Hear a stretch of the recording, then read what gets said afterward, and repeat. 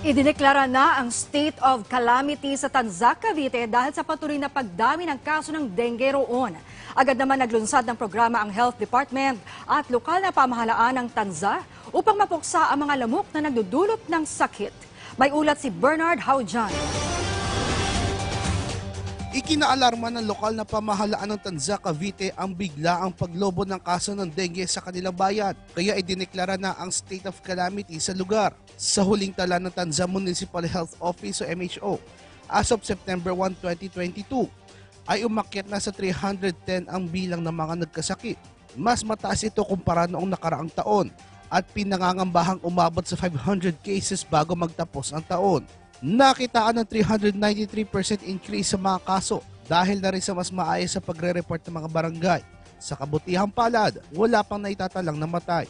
Ayon sa Tanza MHO, makakatulong ang pagdeklara ng state of calamity para madagdagan na kanilang pondo sa pagsugpo sa sakit.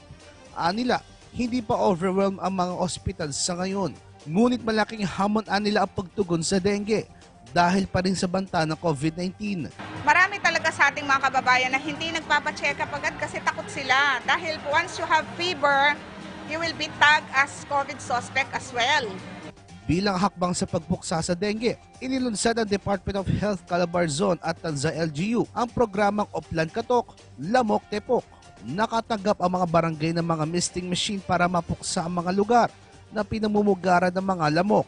Nakikitang dahilan kasi ng pagtaas ng dengue ang pagbuhos ng ulan, kaya magagamit ang mga ito sa pagsasagawa ng search and destroy. Kinabitan ng insecticide-treated screens ang mga bintana ng mga paaralan upang hindi makapasok ang mga lamok sa classroom. Tuwing alas 4 naman ng hapon, makakatanggap ng text message ang mga residente upang ipaalala ang mga hakbang kontra dengue. Ayon kay Tanza Mayor Yuri Pacumio na lumohok sa paglunsad ng programa, hindi nakakayanin ng mga namumuno lamang ang pagresolba sa problema sa dengue, kaya kinakailangan ng tulong ng publiko. Ang prevention ay dapat ho ay magsimula sa bawat household, sa bawat bahay, sa bawat pamilya, sa bawat individual. Bernard Hojan para sa Bayan.